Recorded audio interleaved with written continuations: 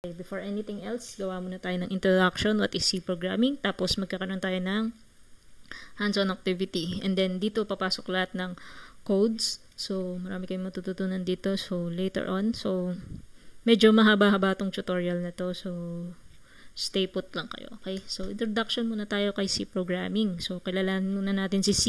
Si C programming language, dinevelop siya ni Dennis Ritchie nung between 1969 until 1973. So, ginawa siya sa USA, sa AT&T Bell Labs to be exact. And, um, paano nga ba siya nagkaroon ng idea sa C programming? Basta lang ba naisip niya yon So, later on, sasabihin ko sa inyo kung saan niya nakuha yung idea na yun. Okay? Pero na formalize siya ni ANSI or American National Standard Institute after ilang years pa, which is uh, 1988. Okay? Saka lang siya na-formalize na ito ang C programming language. So, si C programming language, uh, galing siya sa B language. Dito yung idea ni C programming, kaya siya nabuo. So, B language or BCPL, which is Basic Combined Programming Language. So, pakita ko sa inyo kung anong itsura ni B programming language sample. So, ito siya. Um, sa isang line of code, palagi kayo merong numbers of tens. So, meron tayong 10, 20, 30, 40, and so on. So, nakikita nyo, pag gagawa kayo ng isang line of code, palaging merong numbers of tens. So, unang code, 10. Pangalawang code, printf, 20, 30, and so on. Diba? So, parang medyo hawig-hawig nga siya sa C language, di ba? So, yan. Diyan siya nagkaroon ng idea paano niya ginawa si C programming. Okay? Yan. Just a knowledge na sinishare ko sa inyo. Okay? So, ngayon, ang gagawin natin, pupunta tayo sa pagda-download ng ating IDE or dun tayo magko-code ng mga programs natin. So, kailangan natin ng compiler. So, sa compiler, kung Windows users kayo, meron tayong tinatawag na Visual Studio. Pero madalas itong Visual Studio, ginagamit siya ng mga professionals eh. Sa mga business, ito yung license application nila to create C or C++ or maraming kayang gawin sa Visual Studio. So, kaya, kaya paid up siya. So, since tayo, ang i-discuss lang naman natin is C programming, da-download natin si Dev C++ IDE. So, bakit C++? Uh, baka sabihin nyo, C++ hindi develop natin. Hindi. Kasi si Dev C++ na app, kaya niya mag-develop ng C and C++ applications. So, pero ang gagawin muna natin is C. Later on na natin gamitin yung C++. Okay? So, kung Linux operating system naman ang meron kayo, by default kasi si Linux meron siyang um, compiler na talaga. So, para lang ma-access nyo yung compiler na yun, punta lang kayo sa command prompt, tapos type nyo doon dollar sign, space GCC, space minus V. So, since wala akong Linux operating system, di ko mapakita sa inyo kung paano siya gumana. Pero yan, alam ko, usually ganyan ang paggamit ng compiler ng C. Okay? Tapos, kung wala naman kayo noon, pwede siyang ma-download sa gcc.gnu.org backslash install. Tapos, kung Mac operating system naman ang meron kayo, so Apple, meron siyang tinatawag na Xcode. Si Xcode, mati-download nyo siya sa developer.apple.com backslash technologies backslash tools. I think if not free siya, baka may bayad yun. Pero yan, pili na lang kayo kung anong operating system ang meron kayo. So, since tayo Windows, gamitin natin to si Dev C++ IDE. So, ang gagawin na lang natin, punta tayo dito sa ating browser which is Firefox. Uh, actually, ito yung link niya. Pero kung nalilito pa kayo dyan, punta lang kayo sa Google. Google. Tapos type nyo lang uh, SourceForge C++ IDE. Tapos, yung unang-unang lalabas, yan nakagad siya. Ayan, yung blue. Download nyo lang yan. Pag i-click nyo yan, ito yung lalabas dyan. Tapos, download nyo lang. So, since ako na-download ko na siya, nandito na siya sa desktop ko. So, play natin siya.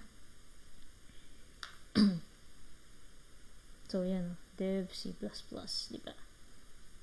So, yan. Ito yung interface niya. So, ang gagawin natin, punta tayo sa file. Create tayo ng new source file. So, source file, meron tayong blank page. So, sa blank page na yan, ang explain muna natin is yung headers. Kasi bago tayo makapagawa ng codes, kailangan natin meron tayong headers na tinatawag. Ito yung lagi nyo nakikita sa C programming, no? Ito yung hashtag include stdio stdio.h. Okay, ano ba yung ibig sabihin niyan? So, ito, si stdio.h, ang ibig sabihin niyan, standard input output dot headers. Okay, so, ito, bakit meron yan? Kailangan ba natin yan? So, parang sample lang. Parang sa isang libro. Sa isang libro, hindi naman kayo pagbukas nyo ng libro, pumunta ka agad kayo sa content, di ba? Kailangan alamin nyo kung ano yung nasa loob ng content na yun. Parang si title yon or si header. Siya yung nagsasabi, ang laman ng content na to ay introduction. So, parang ganyan. Parang dinedeclare niya kung ano yung laman ng content nung isang uh, book. So, ito naman, pagdating sa C programming, sinasabi niya, ito yung laman ng code na to. Gumagamit siya ng input and output operators. Okay? So, mamaya kasi gagamit tayo ng mga input and output operators. So, mamaya may kikita natin kung para saan yan. Okay? So, next, ang ginagamit natin is include stdlib.h.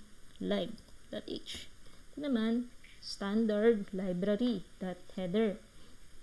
So, standard library, saan naman to ginagawa? Ginagamit to sa mga functions na gumagamit ng mga memory allocations or processes. So, sample natin ng memory allocation is yung uh, if-else or um, arrays. Mamaya arrays, gagamit tayo. Tapos, mga while or do while loops. Yan, ginagamit nila yan. Kakaroon tayo ng function na ganyan, kaya magde-declare tayo ng ganyan. Okay? So, sabihin natin yan. So, ngayon, ang next natin i-discuss is yung printf. So, lahat ng programmers alam to, si hello world, di ba? So, paano natin ipiprint yung salitang hello world? So, unang unang gagamitin natin is gagawa tayo ng function. Sa loob ng programming language uh, C, kailangan lagi tayong may function na tinatawag. Okay, ano bang ginagawa nito ni function? Yan.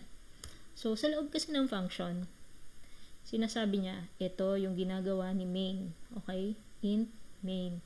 So, sa loob ng main, meron tayong close, open and close curly brackets. So, curly brackets na to, dito natin dinidiscuss or dinideclare lahat ng codes natin. So, anong ginagawa ni int main? Ito ang gagawin ni int main. So, bakit may open and close? Para lang i-group lahat ng codes natin. Kasi kung wala tayong open and close, ang gulo ng code, di ba? Hindi niya malala, hindi malalaman ni C ano bang ginagawa ni int main. Kasi mamaya, sobrang dami na ng functions natin. Kailangan may grouping siya, di ba? So, kailangan natin ng open and close or open and close, yeah, curly brackets. So, kung paano tayo makapag-print, ito ang gagamitin nating function which is printf. Si printf, para makapag-print siya ng isang sentence, kailangan niya ng open and close. Ayan. Tapos, sabihin lang natin, hello world. Hello world. Yan. So, pagkatapos niyan, kailangan natin merong semicolon.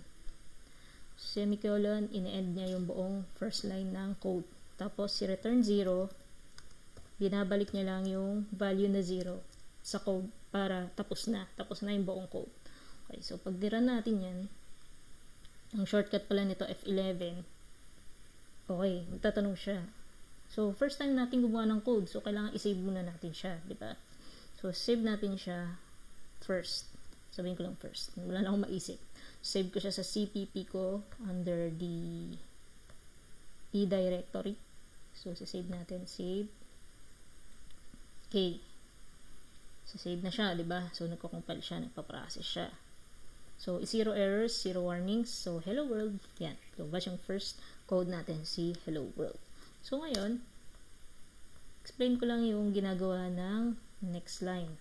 So, bakit hindi ako, parang sabi nyo, parang may kulang. Wala nito, di ba? So, ano ba ginagawa niyan? So, yan, pag nilagay ko yan dyan, actually walang pagbabago yan. Kasi wala naman tayong sinasabi sa next line. So, sige, para lang makita nyo, no? Function. So, bak nang nilagyan ko ba yan, may mangyayari ba? Ano kayo mangyayari, di ba? So, wala nangyari, di ba? Kasi, wala naman akong sinabi kung ano sasabihin next line. Pero, napapansin nyo, meron siyang space dito, malaking space. Which is blank. Kasi wala naman akong ginawa sa next line. Okay, so, kung ilagay kaya natin yan dito, backslash n. Ano kayo mangyayari? function, F11.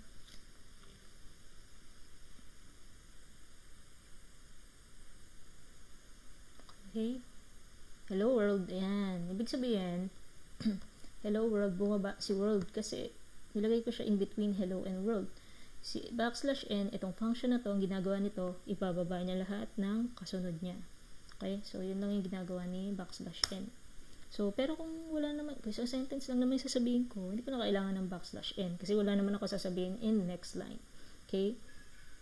So, ano pa yung i-discuss natin? Um, let's play, ano naman, um, ito yung pagdi-declare ng variables. Okay? So, declare tayo ng variable. So, ang gagawin ko lang is, pag nag-declare tayo ng variable, di ba, my favorite, my favorite, favorite pet is a dog. So, gawin lang nito,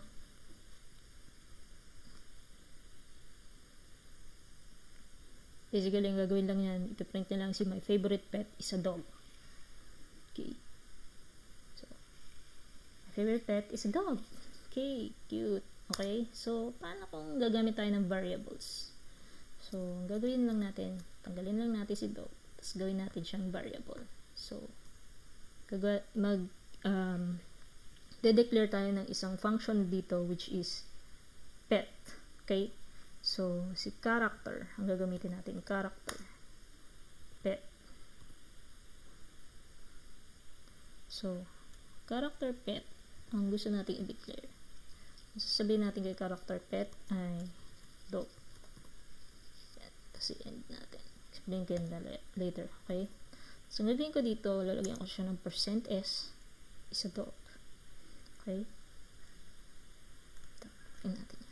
Yan. Tapos, lagyan natin ng backslash. Tapos, sino yung so, ang sinasabi niya dito, meron tayong function na tinatawag na pet. So, sa loob ng pet, merong equivalent na dog. So, pag sinabi kong pet, ang equivalent niya lagi ay dog. So, pag sinabi ko dito, my favorite pet is a So, ang ginagawa nitong function na to, tinatawag niya yung string function, which is si pet. Bakit niya nalaman na string siya? Kasi sabi ko, character. Okay? So, character pet.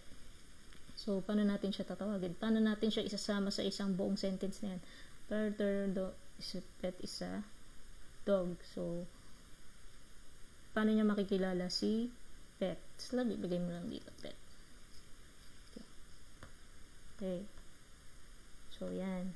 So, ang gagawin nito, my favorite pet is a dog. Dapat. So, try natin. Run kung tama ba yan.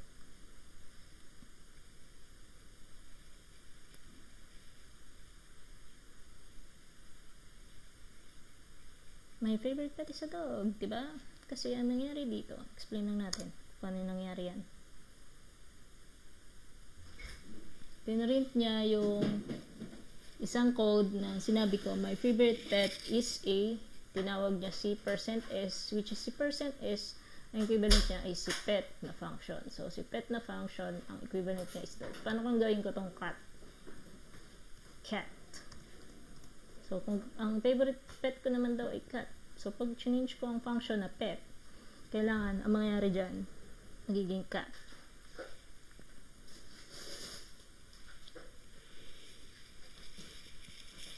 Okay, my favorite pet is a cat. Okay, kita nyo? Difference? Okay, so ngayon, explain naman natin yung difference ng function na int.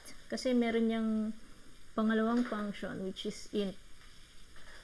Okay, so gamitan natin ang int. So int, ang sa loob ng int, ang pwede natin i-declare dyan is uh, numbers. So, age, ano ba mga integer na pwede natin ipasok? Age, 50. So, kunyari, mag-declare, gawa tayo ng sentence. Wag to, kasi tapos na tayo dyan sa pet na yan. Okay? So, ang gagawin natin, um, uh, i-describe ko na lang sarili ko. Sige. Hi. Hi. my name is string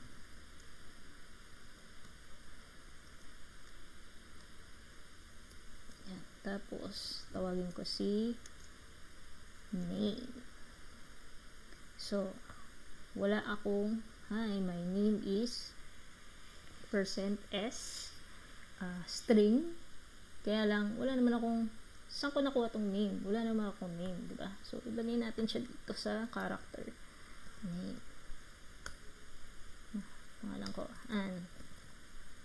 Tapos, ang age ko daw, hindi tayo 50, kunyari, uh, 25, ay, sorry, I'm lang, 25, int age, ang age ko daw ay 25, kunyari lang yan, tapos, gawa tayo na next line. So, kung magka-next line tayo, ang next line natin dapat dito natin lalagay. Before the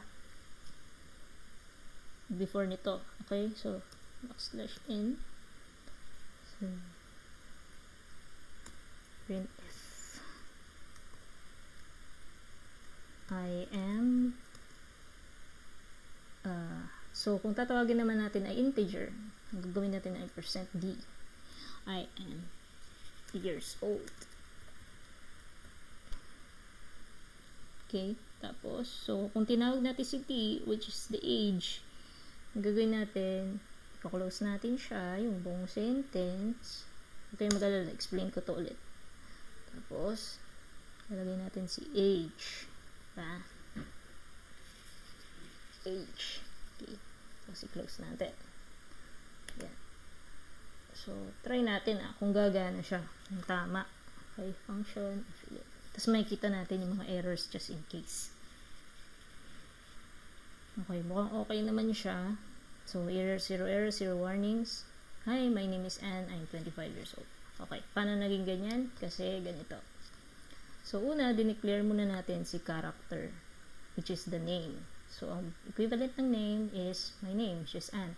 Tapos, sumunod na line of code, dineclare naman natin si age, which is int. Bakit int? Kasi numbers ang dinedeclare natin. So, int ang gagamitin natin, 25. So, nag-declare tayo ng printf function. Sinabi ko daw dito, hi, my name is percent %s, which is tinatawag niya si name. Si name, ang ang meaning daw ng s is name. So, si name, ang ibig sabihin niya ay an. So, tinawag niya Hi, my name is Anne. So, next, printf I am d percent b which is age. Si age daw, equivalent ni age ay 25. 25 years old. So, yun. So, ganun yung ginawa nung mga variables. Diba? So, parang pinapasa niya lang lahat ng functions ng isang character. Okay? So, next, um, gawa naman tayo ng next topic naman natin is shapes. So, gagawa tayo ng shape. Paano ba gumawa ng shape? Naalala ko dati nung college kasi ako pinagawa kami ng shape. Kaya lang, hindi ko talaga na-gets doon kung paano gumawa ng shape. Yung pala, ganito lang. So, sa loob ng main, gagawa tayo ng uh, code, line of code, which is the printf. Okay? So, si printf, wait lang, copy, i-copy paste na lang natin para medyo madali siya. So, sabi dati, create a triangle yata or square. So, ngayon, oops, uh, control C pala. Control C. Tapos, mga apat. Mga 4, ganyan. Tapos, gawa tayo ng backslash. So, parang maglalaro lang kayo dito, i-shape nyo lang na square, no? Uh, I mean, uh, triangle. So, yan. Medyo, ano siya, mabusisi siya kasi kailangan isa-isayin nyo talaga siya. So, ito, kailangan din kabisado nyo yung mga keyboard kung nasan yung ano, yung mga symbols na to. Ayan. Diba? So, parang naglalaro lang ako dito, di ba? So, ayun. Kailangan meron pala tayo. Ayan. Ayan. So, ayan.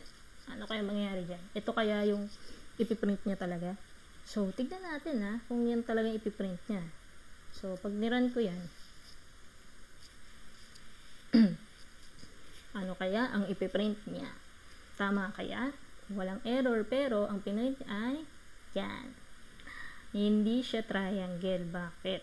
Kasi, may nakalimutan tayong isang function. Yung, in-explain ko kanina, which is backslash n. Diba? So, sa backslash n, palagi tayo maglalagay niya kung gusto nating ibaba ng ibaba yung ating line of code. So, hindi tayo naglagay ng backslash n eh. So, talagang magdidikit-dikit yung mga yan. So, backslash n natin. So, tingnan natin kung magiging triangle na siya.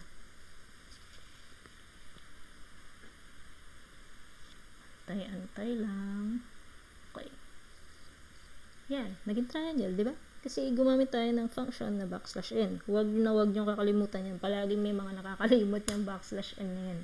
Kaya nagkakaroon ng problema. Okay? So, next naman, ang i-explain natin is yung containers. Explain ko lang kung ano yung ibig sabihin. Pero ginamit na natin siya kanina eh. Sabi ko, di ba, variables. Variables or containers. Kapag nagde-declare tayo ng variable, kung ang gagamitin natin is integer or number. Lagi natin gagamitin yung int. So, ano-ano ba yung mga int? Usually, mga age yan. Age, number, ganyan. So, int age, kunyari, uh, 25, kanina. Tapos, pag, kung dalawa naman yung uh, i-declare nating variable, wag na wag nyo kakalimutan yung semicolon. So, semicolon, backslash, ay, sorry, semicolon, next, character. Meron tayong tinatawag na character. Si character, um, dalawa yung types na pagde-declare ng character. Yung una pagde-declare, halimbawa, ah, ang character ko is name is equals to an. Yan. Ganyan yung unang pagde-declare ng character. Yan. So, meron pang isang pros type ng pagde-declare ng character which is ganito. Character name. Yan. Tapos, ganyan. Tapos, pag, Kapag yung ginamit yung character na declaration is may ganito, lagi kayong gagamit ng ganito ap apostrophe ba to? Ah, quote. Double quote, di ba? Double quote gagamitin nyo. Kapag ito ginamit nyo, double quote. Okay? Pero kapag ito yung ginamit nyo, walang ganito. Single quote lang. So, pero parehas lang yan. Parehas lang yung ginagawa niya. Okay, next, meron tina, tayong tinatawag na double. Si double, ang mga uh, equivalent value niyan ay mga may decimal point. Halimbawa, general average. Gen AB. Ang Gen AB daw niya is 89.9. O, diba? Yan. Ganyan ang pagde-declare. Okay? So, Madalas, ang ginagamit dyan, character, int, tsaka double. Okay, so, yan ang mga klase ng mga declarations. Okay, so next naman, um, i-discuss ko yung comments. So, ako madalas ako dati nung nagko-code pa ako, madalas akong gumamit ng comments kasi minsan gumagawa tayo ng code na ano nga ba ginagawa nito, ganyan, ganyan. Mas maganda may comment, para tatandaan mo, ano nga bang ginagawa ng code na to? Ito, ginagawa niya. So, si comment, hindi siya kasama sa code. Pag niran mo siya, hindi siya kasama sa mag execute sa code, pero, andun lang siya to remind you, ito yung ginagawa ng code na to. So, for example, po tayo ng print, print if. Hello? World. Na lang. Hello world. Yan. So, So, halimbawa, para saan ba tong code na to? Pag minsan kasi sobrang haba na ng code nyo, kailangan nyo nito, ng comments, para hindi kayo nalilito. Or para lang may babalikan kayo. Ayan, nakita nyo, naging blue. Kasi, hindi ko pa siya kino-close. So, ang sasabihin ko muna dito, uh, ang ginagawa ng comment na to, ay, ang ginagawa ng code na to, it's printing hello world. Ayan lang. Simple lang muna tayo. Yan. Tapos ang gagawin ko, i-close ko siya. Yan. Close. So, see? So, ang nangyayari, yung blue, bumalik sa dito sa taas kasi kinlose na natin siya. Pero ito, naging line of code na siya. So, i-print, itignan natin kung masasama siya sa code. Function, affiliate. It's printing hello world. Itong code ko. ba? Yun yung comment ko. So, yun yung gagawin niya. So, gagawin niya pa rin, hello world pa rin. Hindi niya sinama yung sinabi ko dito sa comments kasi hindi naman talaga to line of code. Parang comment lang to. Okay? So, next na i-discuss natin is yung gawa tayo ng mathematical operators or simple calculator. Simple calculator gawin natin. So, next, um, mag-declare tayo, no? Sige, gamitin natin to Kunyari, comment tayo. Pag samasamahin natin lahat ng pinag-discuss natin. Simple calculator. Okay. So, sa simple calculator, meron tayong integer na kailangan. Ba, ano pang ginagawa natin sa isang calculator? Di ba dito tayo nag ng mga mathematical operators, plus, minus, division, and so on. So, gagawa lang tayo ng simple. So, int, mag-declare lang tayo ng number. Dalawang number. Int, Number 1, um, wala tayong bibigay na value kasi ayaw muna natin magbigay ng value. Pwede yon So, int num, int num 2. So, kung hindi kayo may ng value, i-close nyo na kagad siya. Tapos, ang gagawin natin, ipiprint f lang natin. Enter. Uh, sabihin natin. Enter first number. So, ngayon, tatanungin nito, okay, mag-enter ka raw ng first number mo. Okay? Tapos, ang gagawin naman, paano tayo makakapag-enter? Kasi kanina puro print lang tayo, di ba? Print lang tayo sa command line. So, paano naman tayo makakapag-type mismo sa command line? So, ang gagamitin nating function is the scanf function. The scanf, ito nag enable sa atin para makapag-type tayo ng mga characters sa loob ng command prompt. So, since number yung ipapasok natin, guess what? Siyempre, percent %d yung gagamitin natin. ba Sabi ko kanina, pag integer, percent %d. Pag string, percent %s. So, percent %d. So, since isang function to, lagyan natin ng open and close pala to. So, open and close. Yan, di ba? Tapos, ang tatawagin natin, si num1.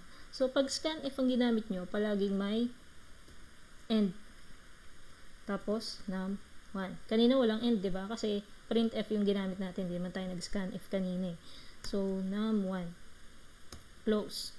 So, next, hindi naman tayo makakapag-calculate kung isang number lang ipasok natin, di ba? So, print pa tayo ng isang number or mag-scan pa rin tayo ng isang number. So, enter second number. Sinabi mong enter second number, ay, sorry. Enter second number. Tapos, i-close natin.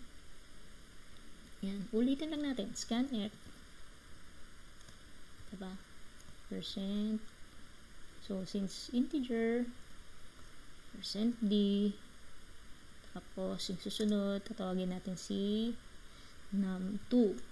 Num2. So, close na natin siya. So, pagka-close, Okay. I-print natin. Pagka-print natin, uh, syempre, pag pinasok natin yung una at pangalawang number, kailangan may sagot tayo, di ba? So, answer is, answer is D, syempre, kasi string, di ba? So, next, sino ba tong mga string na to? So, ang gagawin, nakikita nyo ah, gagawin ko dito. num plus num2. Okay, dito natin, dinedeclare ko anong ginagawa. So, sige, patakubin muna natin, tapos explain natin isa-isa ng line of code.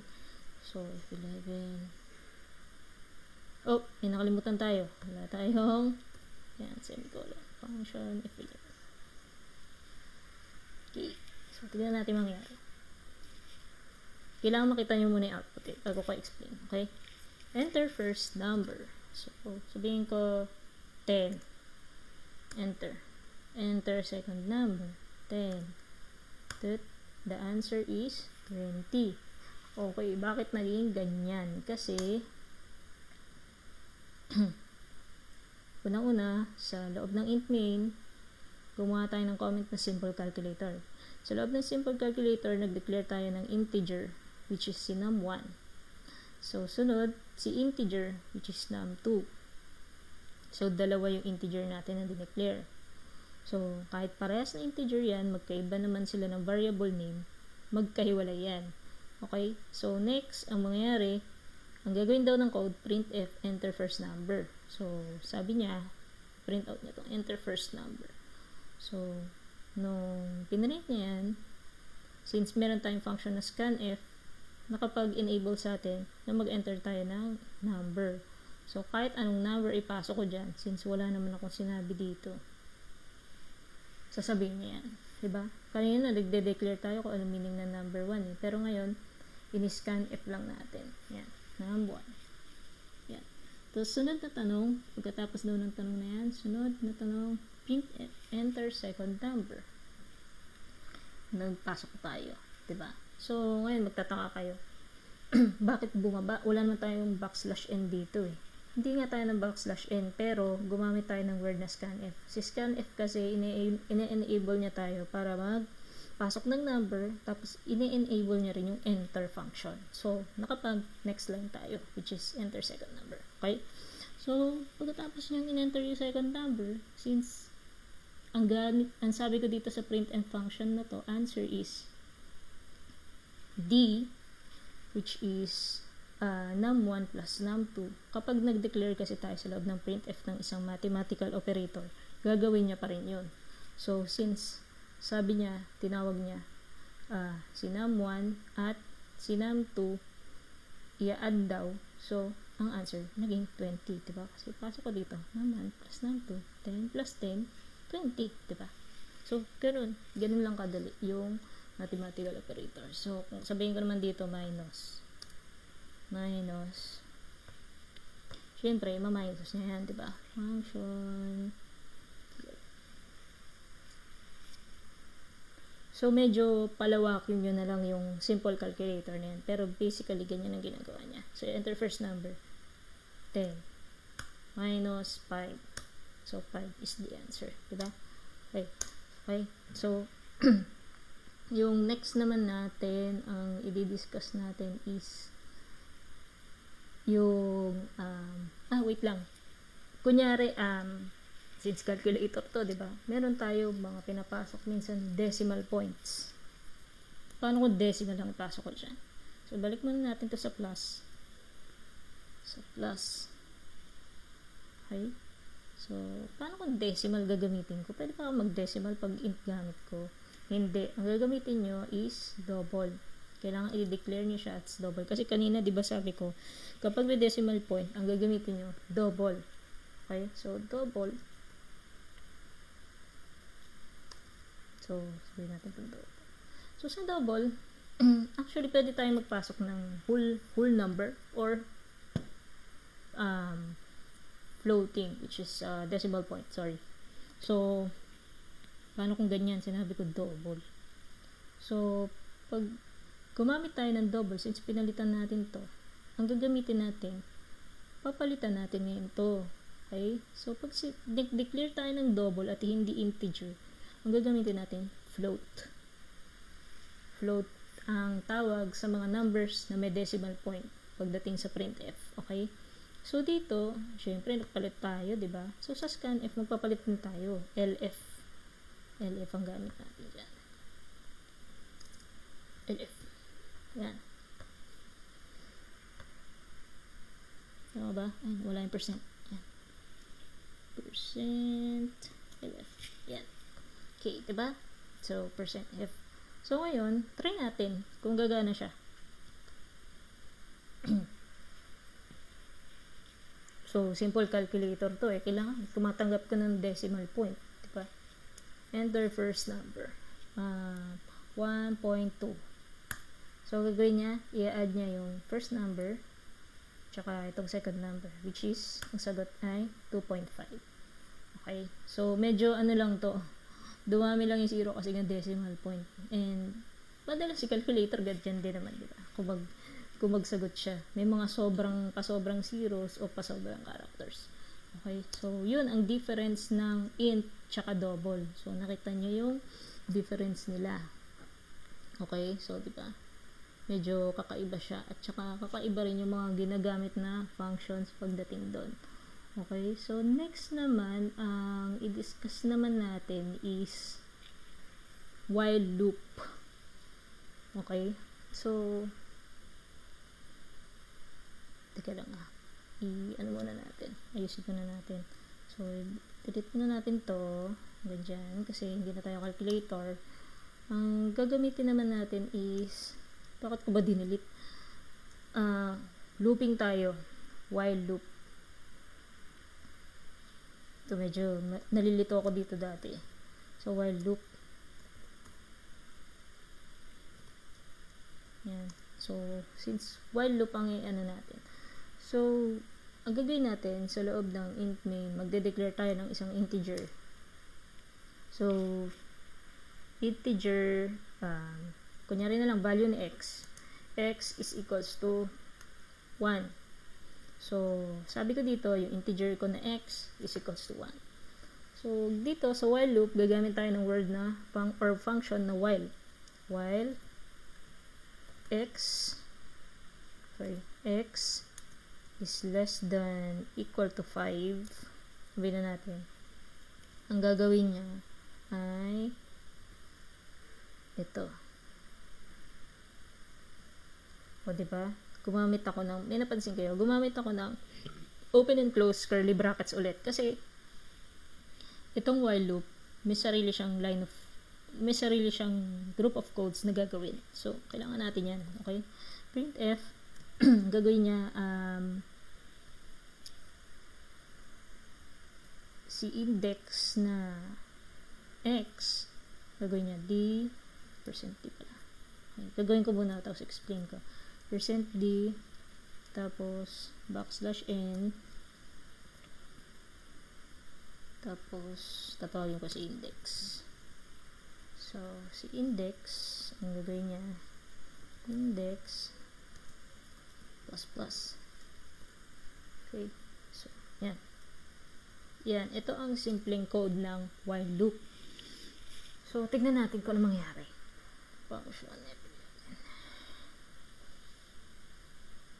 index was, ay, sorry, sorry. Ito ako nag-index, x pala to. x. Ano ko yung index? Oh, x. Ang gamit ko pa, iba yung nasa isip ko. X pala yung ginamit ko. Okay. Function, affiliate. Yeah. Nalilito lang. okay, hintayin natin yung sagot. Um, error. So, errors. Okay, lumabas. 1 to 5, diba? So, bakit ganyan ang lumabas? Explain natin. Bakit naging ganyan? So, sabi niya dito, nag-declare ako ng integer na x. Ang value ni x is 1. So, ang sabi niya dito, while x is less than equal to 5. Kung yung x daw is less than equal to 5, which is yes, 1 yun. So, si 1 less than equal to 5, yes. Ang gagawin niya, ipiprint niya yung word, ah, yung value ni x, which is tinawag ko dito, di ba? Next. Yan, tinawag ko siya dito. 1. So, gagawin niya, pag tinawag niya, pagkatawag niya, next line, yan, gumamit tayo ng next line, mag-add tayo ng isa, plus plus. Actually, pwedeng gumamit kayo ng plus plus or kung gusto nyo hindi kayo malito, plus 1. Alam ko pwede yan. Pero ang gagamitan muna natin ngayon, plus plus. So, ang gagawin, ang ginagawa lang ng code na to, ina-add niya ng isa. So, magiging yung 1, syempre, nag-add ka ng isa, magiging 2. So, babalik siya dito. So, si 2 ba less than equal to 5? Syempre, oo, di ba? So, ang gagawin niya, 2. Next line, tatawagin niya ulit si x. Magpa-plus siya ng isa. So, ganun lang. Ganun lang yung process ng looping niya, di ba? Yung while loop. Okay. so, nakita nyo yung kung halimbawa, sige, sabihin natin dito, uh, 10. Guess ang kaya ipiprint niya.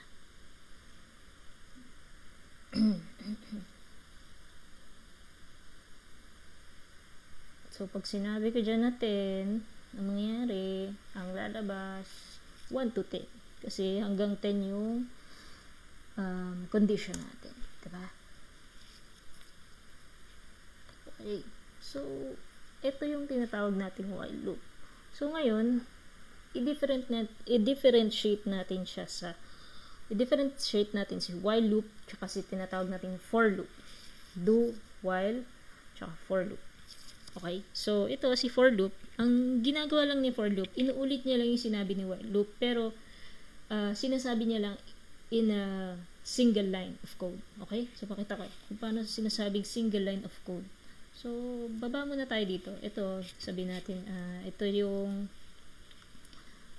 for loop. For loop. Ayan. Ito yung tinatawag nating for loop. Okay? So, ang gagawin ko lang, uulitin ko lang yung sinabi ko lahat dito. So, paano yun? Int x okay, int x dineclare ko si x pero hindi ko pa binigay yung value 4 kasi dito ko siya sasabihin. 4 x is equal to 1. Tapos, tapos, gagawin naman natin, ito naman susunod natin. While uh, x is less than equal to 5. Tapos, tapusin natin yung line of code na yan. Next, ang gagawin daw natin ay mag-add tayo. Mag-add tayo ng plus plus. So, si x plus plus.